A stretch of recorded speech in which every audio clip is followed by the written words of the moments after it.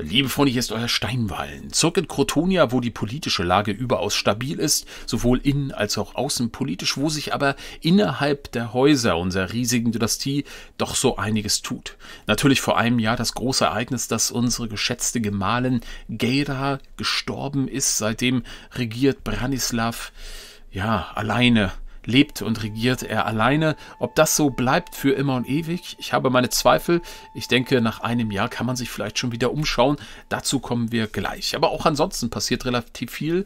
Ähm, ich erinnere an dieses sehr merkwürdige Verhältnis zu König Kamil, unserem Rivalen oder doch nicht Rivalen. Immer mal wieder gibt es Annäherung, zuletzt ein großes Fest, eine Einladung, lecker Essen und dann seine merkwürdige Forderung, dass er das Königreich Schweden haben möchte, was wir wieder abgelehnt haben. Also auch merkwürdig. Und und unser Freund äh, Bürgermeister Strasch, der ein Verhältnis hat mit unserer Tochter Hanna, die wiederum verheiratet ist.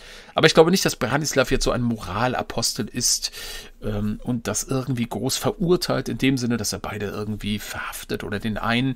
Nein, ich glaube, er liebt seine Kinder, er liebt seine Freunde und das sind Dinge, die im Leben nun mal geschehen, so stelle ich ihn mir vor.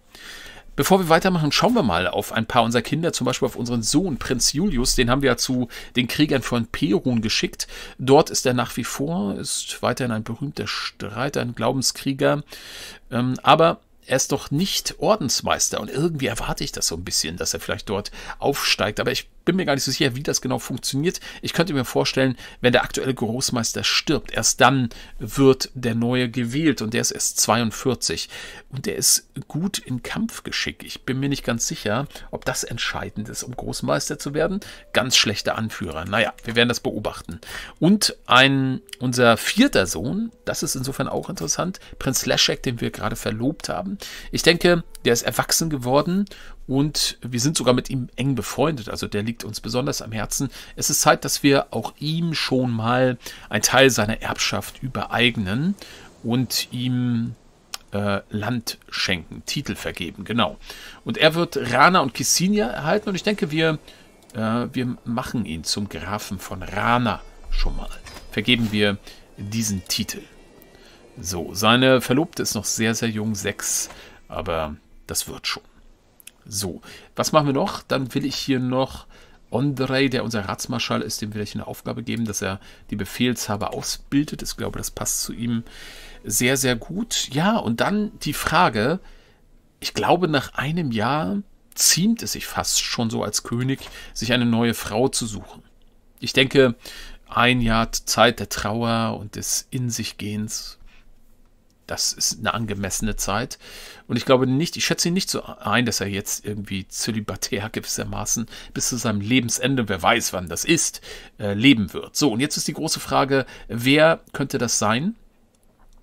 Ich denke mal durchaus, dass er auch so, ja, wie soll ich das sagen, lebenslustig ist und das ist eine komische Formulierung, ähm, dass er sich aber durchaus auch eine junge Frau sucht. Ähm, ich hoffe, das ist jetzt nicht missverständlich.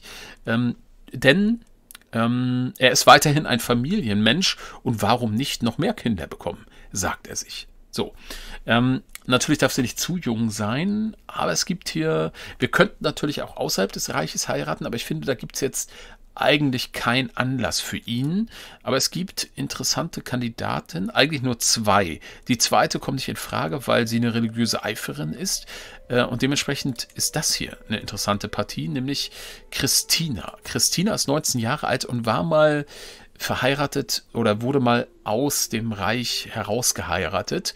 Ihr Vater oder ihr Großvater ist der König Janusz von Dänemark, unser Schwager, das ist weit genug entfernt. Und ähm, deren Mann ist aber gestorben mit 18 und die ist jetzt nun irgendwo in der Ferne. Und ich denke, er wird das von seinem Ratsspitzel auch erfahren haben, dass es diese schöne junge Frau gibt. Und ich glaube, das ist eine gute Partie Immerhin aus einem Königshaus. Das werden wir machen. Also Christina ist rachsüchtig, gerecht und maßvoll. Und diese Heirat wird jetzt vollzogen, wird annehmen. Also wir können diesen Vorschlag abschicken. Okay, Champions wollen wir derzeit nicht. Dann lassen wir mal laufen. Und ein nächstes Geheimnis wird offenbart. Eine schändliche Wahrheit ist ans Tageslicht gekommen. Meine Tochter, Prinzessin Smerschna, hat ebenfalls eine Affäre. Olla, was ist mit unseren Töchtern los? Ich glaube, das ist wirklich eine Sache, die hat weniger mit den Männern als mit den Frauen zu tun, oder? Hm. So, Kajetan ist angeblich das Objekt dieser verbotenen Lust. Sie ist verheiratet mit dem Herzog von Pommern 20 und Kajetan, wer ist das? Ach, das ist ein Höfling dort. Mhm. Landlos. Nun gut. Auch ein Krutoi. Ja, wir werden das äh, immer wieder wie gehabt handhaben, dass wir das mehr oder minder ignorieren, dass wir nicht aus religiösen Grund, Gründen irgendjemand verhaften. So, dann ein weiteres offenbartes Geheimnis. Ach so, okay. Julius Krutoi, unser Enkel, ist kommt von Kajetan. Naja, das müssen die unter sich ausmachen. Soweit, soweit, so, soweit dazu. Hingabestufe haben wir natürlich verloren. So, die Heirat wird angenommen. Ja, genau. Christina ist jetzt also die neue Königin. Da haben wir sie. Ja, ich weiß nicht. Ich meinte, er versucht sich möglicherweise mit ihr anzufreunden. Ich denke mal, wir schicken erstmal ein Geschenk. Das ist schon mal eine gute Sache. Und Beeinflussung so im Allgemeinen ist, glaube ich, auch eine gute Sache. Seelenverwandtschaft werden wir nicht gleich anstreben. Das fände ich jetzt ein bisschen übertrieben. Es, ähm, es gibt drei laufende Kriege, das sind aber alles Angriffskriege unserer Vasallen, mit denen wir auch keine, kein Bündnis oder ähnliches haben. Insofern werden wir uns da nicht groß einmischen. Es gibt einmal diese Bjarmaland-Nummer.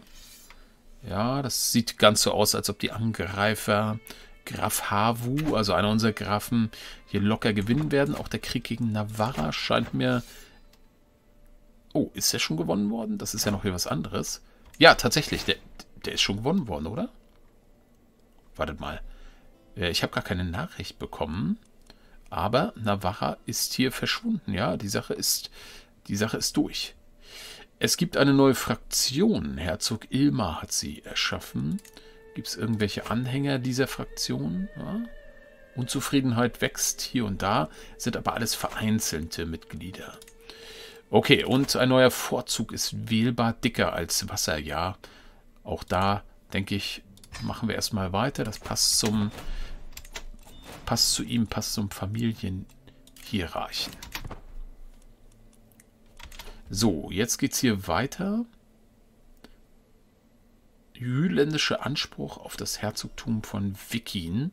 Das ist aber ein interner Krieg, wenn ich das richtig sehe. Okay, Ratsprediger Wladislav wird angegriffen. Aha. Von Herzog Gregorsch. Den können wir uns mal angucken. Der führt jetzt hier einen Krieg. 8800 gegen 6000. Das ist aber ein rein interner Krieg, der uns jetzt nicht großartig betrifft. Was haben wir denn hier? Also erstmal hat hier ein benachbarter Herrscher einen Krieg gewonnen. Das hat aber auch nichts mit uns zu tun. Aber mich interessiert es trotzdem. Herzogtum von Arjetje. Wer hat denn hier was gewonnen? Okay, da gab es aber das ist auch keine wahnsinnige Veränderung gewesen. So, der Lockruf der Sprache. Das multikulturelle Reich Krotonia zu regieren, bringt seine ganz eigenen Probleme mit sich. Fremdländische Untertanen fühlen sich häufig ausgegrenzt, wenn sie am Hof nicht ihre Muttersprache sprechen können. Das führt zu Unzufriedenheit. Mein Vasallherzog Arne legt nahe, ich könne die Beziehung zu meinen Untertanen der schwedischen Kultur stärken, wenn ich ihre Sprache erlerne. Okay. Hm, das ist natürlich interessant. Also mit Sicherheit wird er keine Bücher lesen, aber ich kann mir schon vorstellen, dass er irgendwie offen für so, solche Geschichten sind. Und warum nicht einen Lehrmeister anheuern? Kostet uns 300 Gold, 80 Prozent, dass wir das erlernen. Ich würde mal sagen, wir machen das. Ich kann mir das vorstellen, dass er so etwas anstrebt. Ich weiß gar nicht, sehen wir, ob das geklappt hat? Noch haben wir keine Nachricht erhalten. Hm. Aha, jetzt erleben wir das Ergebnis. Nach vielen Wochen des Studiums beherrsche ich jetzt endlich die Grundlagen der neuen Sprache. Ich muss noch viel üben, aber sogar dieses einfache Fundament hat meine Beziehungen mit meinen Untertanen der schwedischen Kultur verbessert. Wer hätte das gedacht, Leute? Unser dümmlicher König entwickelt doch wirklich eine gewisse Klugheit. Es ist keine, kein Bücherwissen, keine Intellektualität, aber irgendwas Lebenstüchtiges hat er auf jeden Fall an sich. Okay, gut investierte Zeit oder ich möchte mehr lernen? Ich glaube nicht. Nee, das geht zu weit. Aber wir freuen uns, was wir erreicht haben und erhalten da noch Lebenswandelpunkte. Außerdem ist Herzog Wawczynek verbessert worden und Königin Christina ist beeinflusst. Das können wir dann aber auch jetzt sein lassen. Ja, das können wir aufgeben. Da gibt es keinen Grund. Die haben sich also jetzt angefreundet miteinander. Die Ausbildung endet. endet. Mein Mündel Jaromir ist nun erwachsen und es ist an der Zeit für ihn, meine Obhut zu verlassen. Ja, Jaromir. Ähm, mit dem haben wir uns auch angefreundet während wir ihm geholfen haben. Und er ist wirklich ein talentierter Diplomat. Also, es ist unglaublich, was, was er weitergibt. Er und natürlich Geira, die hat ja auch viel, viel getan. Ich hoffe, wir werden uns wiedersehen. Jaromir, ja, wir müssen uns auch mal um ihn kümmern jetzt noch. Denn, wie kommen wir jetzt an ihn ran? Warte mal, ich glaube, ich habe ihn hier angepinnt. Also Jolanta haben wir ja schon verheiratet. Sie ist ja quasi Königin von Estland. Was machen wir mit Jaromir? Ich meinte, er ist ja sowas wie ein Sohn. Vielleicht könnten wir ihm auch ein bisschen Land geben. Hm. Die Frage ist, welches? Vielleicht ist es übertrieben, ihm eine Grafschaft zu geben und ihn damit gleich äh, allerdings, wartet mal, mir fällt eine Sache ein. Wir könnten ihm eine Grafschaft in Schweden geben. Das wäre durchaus nicht ganz unangemessen, weil immerhin Udalrich erhält jetzt schon. Hat, er hat ja schon eine Grafschaft. Er, hat das, er erhält noch das Herzogtum und zwei Grafschaften. Aber hier haben wir noch eine Baronie von Lexand. Das fände ich, das ist mindestens angemessen. Oder geben wir ihm eine gesamte Grafschaft? Ja, komm, der andere hat dann, unser zweiter Sohn hat dann zwei Grafschaften und das Herzogtum, und zwar auch die teuren, also die einkommensstarken Grafschaften. Doch, ich denke, wir können das machen. Wir werden ihm diese hier übereignen. Das finde ich ganz gut. Also, Övre Dalana, ich gucke mal, wie das funktioniert. Ich denke, das müsste funktionieren. Wir werden ihm... Und er kann sich dann selber eine, eine Frau suchen. Ja, genau, das funktioniert. Können wir ihm geben. Machen wir. Titel vergeben. Okay. So, Jaromir ist damit auch versorgt. Und interessanterweise, Bratislav wird immer schwächer, was seine eigenen Domänen betrifft. Er hat nur noch vier unter kompletter eigener Kontrolle. Aber das stört ihn in keinster Weise. So, was haben wir hier noch? Unser Verbündeter wird angegriffen. Herzog Vigu. Oh, von Herzogtum Gualadat. Bauernaufstand. Wir schauen mal, ob dieser Bauernaufstand gefährlich ist für ihn. 1000 gegen... Uh, der ist tatsächlich gefährlich, Leute. Ich glaube, ich könnte mir vorstellen, nächste Fraktion ist im Übrigen geschaffen worden, dass wiederum unser Sohn ein Interesse äh, hat, einfach mal wieder die Truppen zu sammeln und sei es, um sie gegen Bauern zu schicken. Könnte ich mir vorstellen. Warum eigentlich nicht? Ich denke, wir machen das mal. Ich denke, wir machen das mal. Das ist eine gute Gelegenheit für ihn, sich erneut zu beweisen. Und er wird seinen Vater überreden, dass das nötig ist. Wir werden einen Sammelpunkt hier oben bilden, würde ich sagen. Ja. Und dort unsere Spezialtruppen, das Kriegsvolk, ausheben. Ja. Und dann wird unser Sohn sicher an der Spitze stehen, um diese Bauern zu verprügeln. Ja, nämlich der Verbündete ist dort mit noch mit jemandem anderen im Krieg, habe ich gesehen. Uh, das ist sogar ein gefährlicher Krieg, weil... Hm. Aber da sind die Verteidiger allerdings in der Mehrzahl, sehen wir gerade. Das ist ja gut, weil er selbst hat nicht mehr allzu viele Truppen. Na gut, helfen wir ihm gegen die Bauern. Oh nein, es geht noch, es geht noch weiter. Wir werden auch... Ach! Äh, alles klar. Es kommt jetzt schon... Alles klar, es kommt jetzt schon zu einem Ruf. Ja, wir nehmen an, das wollten wir sowieso. Genau, wir treten bei. Das hätten wir nämlich sowieso äh, darum bitten müssen oder das diplomatisch fordern müssen. Das passt ja wunderbar. Wow, wir haben einen 30er Befehlshaber. Das ist ja unglaublich. Herzog Thomas von Smallland. Den habe ich ja noch gar nicht gesehen. Aber trotzdem ist es Prinz Andrei, der jetzt hier die Mannen anführen will, ganz klar. So, und wo haben wir die Bauern? Äh, da ist das Bauernheer. 1000 Mann die jetzt niedergeschlagen werden müssen. Und das dürfte es dann auch schon sein, wenn das erfolgt. Aber in der Tat, der Gegner hat andere Probleme, nur logisch, dass er uns ruft. Schaut mal, unser, einer unserer besten Freunde stirbt und wir erhalten zwei Anspannung. Herzog Christoph von Karelien. Und damit ist auch ein Platz im Rat wieder frei. Mhm. Den wir natürlich besetzen müssen. Ein Festmahl ist möglich. Ein Ratskanzler muss jetzt besetzt werden. Das ist natürlich eine interessante Aufgabe. Ich gucke mal kurz. Wawczynek wäre selbst auch ein guter Kanzler. Der könnte sich dafür eignen. Ja.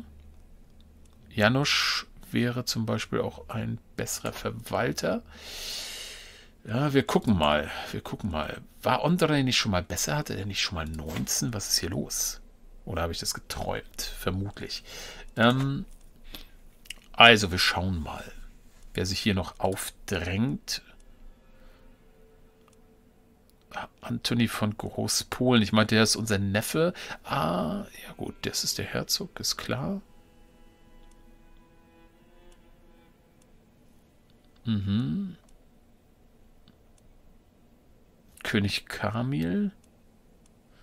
Tja, hier unser Freund natürlich. Das wäre, glaube ich, vielleicht die beste Möglichkeit, dass der gute Strasch von Visby das Ganze übernimmt.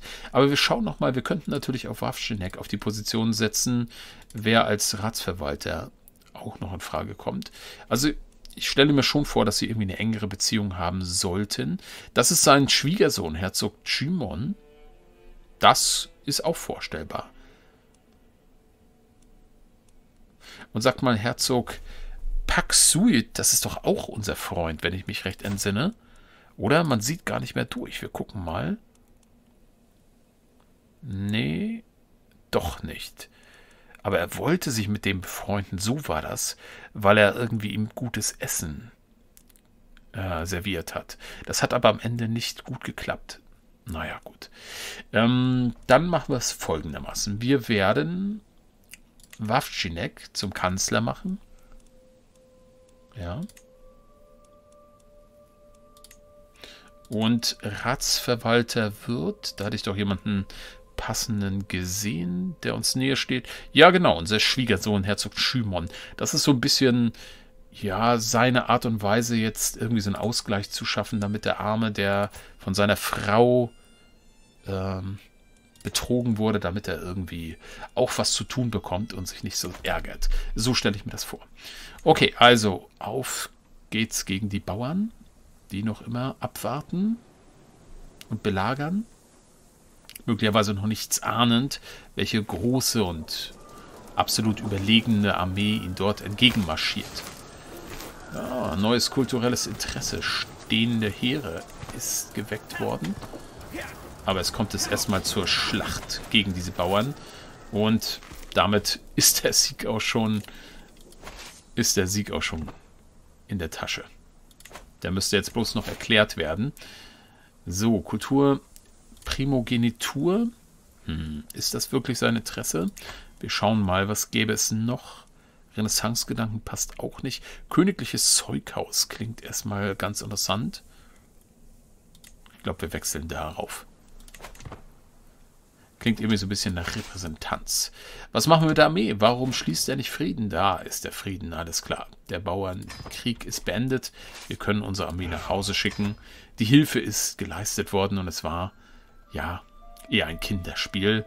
Aber klar, wer hatte anderes erwartet?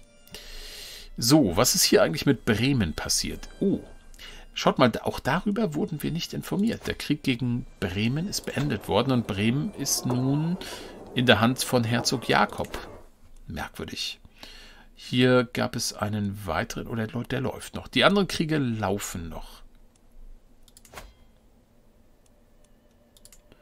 Wer ist hier eigentlich besetzt? Ach so, das ist dieser Bjarma-Krieg, genau. 13.000 gegen 7.100. Mhm, der läuft noch. So, Tiana hat einen Krieg verloren gegen, die haben glaube ich Serbien gegen Ungarn gekämpft. Serbien wollte Ungarn übernehmen, das kleine Serbien. Das hat allerdings nicht geklappt, wie wir sehen. Und wir sehen auch, dass es wieder möglich ist, ein eigenes Festmahl zu veranstalten. Und das ist jetzt das Festmahl anlässlich, bisschen verspätet, anlässlich der Hochzeit hier. Ist sie schon schwanger? Nein, ist sie nicht. Wir versenden die Einladung. Willkommen, Freunde. Ah, okay. Herzog Paxut, Paxiut ist da. Und natürlich unterhalten wir uns. Mit dem haben wir uns schon mal gut unterhalten. Jetzt kriegt er von uns gute Speisen aufgetischt. Sehr schön. Und da haben wir ihn. Ein nächster Freund. Ja, alles klar. Also, falls es noch eine Ratsposition gibt, er wäre ein Kandidat. Die Vasallin Raina hm, von Westgotland ist in Nöten. Ja. Wir werden die störenden Gäste ablenken. Kein Problem. Ein Kind unserer Dynastie, Hanna, hat einen Branislav zur Welt gebracht. Hm, wollen wir das so? Dobromil, nennen wir ihn lieber Dobromil. Und Niklot hm, soll der Vater sein, aber ich fürchte, Niklot ist gar nicht der Vater, denn wir wissen, der Vater könnte unser guter Freund sein aus Gotland. Aber naja, das, da mischen wir uns wieder nicht ein. So, das lief alles problemlos. Unsere neue Gattin hat ihre Sache offenbar auch gut gemacht. Oh, oh, oh, oh, oh, was passiert hier, Leute? Was passiert hier? Ziemlich viel. Okay. Das ist natürlich jetzt ein Riesenproblem. Oh nein. Was ist denn das für ein Dilemma?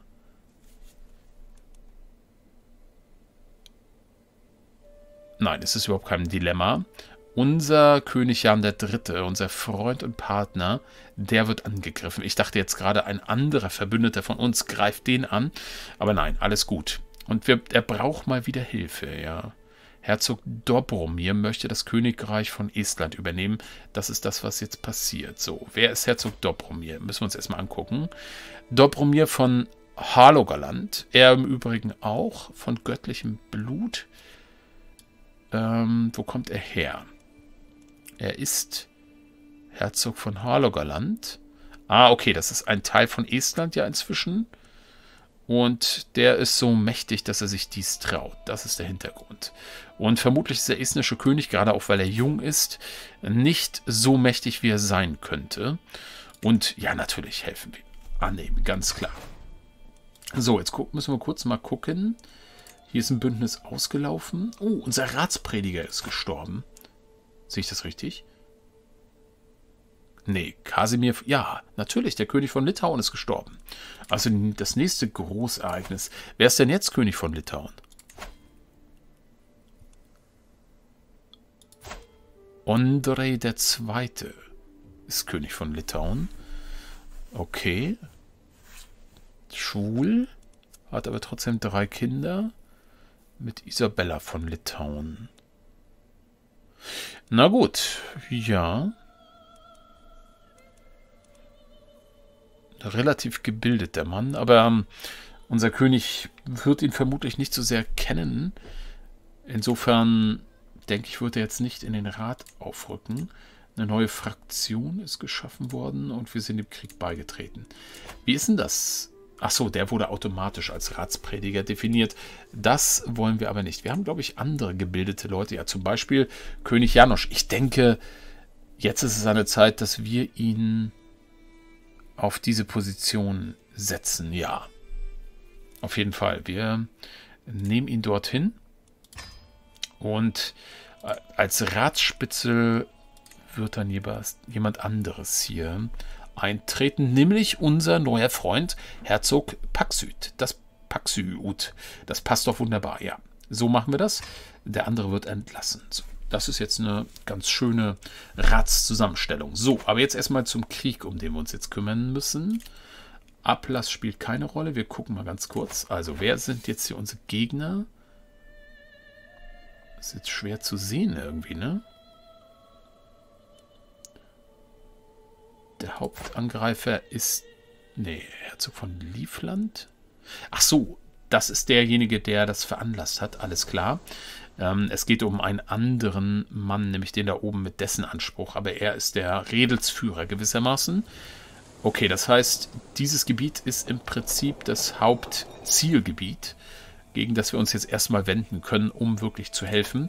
Und ich denke, auch hier ist es erstmal komplett angemessen, wenn wir ausschließlich unsere Spezialtruppen rufen. Und wieder wird es unser Sohn und Marschall sein, der die anführen wird. Kriegsvolk hier komplett ausheben. Ja, können wir auch schon wechseln auf Andrei. Und dann gucken wir mal. Ja, da kommen noch mehr. 5000, warum gehen die auf, aufs Meer? Ich weiß es nicht genau. Wollen wir sie versuchen aufzuhalten? Wird vermutlich nicht ganz reichen, oder? Ah, wir kommen gerade zu spät. Aber gut, dann kann natürlich eine Belagerung beginnen dieses wichtigen Gebietes. Aber was haben die vor? Was wollen die dort? Ösel belagern? Ernsthaft?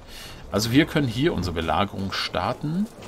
Wir können uns hier direkt auch nochmal aufteilen und zu einer weiteren Burg ziehen. Ich denke, das ist sogar ganz gut. Halbieren wir mal die Armee und die zweite Armee zieht dann dorthin. Ja. Oh. Und die Sache mit dem Hirsch in Weiß geht weiter. Mein Fürst, eure Suche nach einem gewöhnlichen Tier. Das macht mir zugegeben Sorgen. Mein Ratsprediger Janosch, unser Freund, tritt an mich heran, als ich Meldung über neue Sichtung des weißen Tiers durchgehe. Nach seinem Dafürhalten muss etwas, das so viel Aufmerksamkeit verlangt, das Werk des Bösen sein. Also wäre seine bloße Existenz nicht schon ein Zeichen der höchsten Mächte des Lichts. Da gibt es möglicherweise eine Diskrepanz. Aber das ist noch jemand anderes. Warte mal. Ach so, nein. Janusz, natürlich. Ja, ja, alles klar. Der aber allerdings nicht unser Freund ist. Das ist jetzt wichtig. Das habe ich jetzt gerade verwechselt. Nein, nein, das ist nicht unser Freund. Aber mit dem verstehen wir uns auch gut. Tja, wir sagen, sie sind auf Boten des Himmels, das geht euch überhaupt nichts an. Oder ihr habt recht. Hm. Also ich glaube nicht, dass wir, also diese ganze religiöse äh, Aufladung des Themas lehnen wir ab, weil wir ja zynisch sind. Insofern sagen wir eher, das geht euch überhaupt nichts an. Ja, ich denke, das passt in diesem Falle am besten. Nun gut, Liebe Leute, dann werden wir erstmal an dieser Stelle pausieren und diesen Krieg das nächste Mal fortführen und unserem jungen Verbündeten Jan III. hier helfen. Und natürlich unserer Ziehtochter, unserer Nichte Jolanta damit mit. Wir sehen uns in der nächsten Folge. Bis dahin macht's gut, euer Steinballen.